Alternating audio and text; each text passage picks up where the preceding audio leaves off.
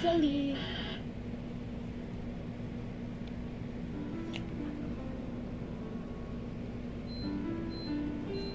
I'll be right back.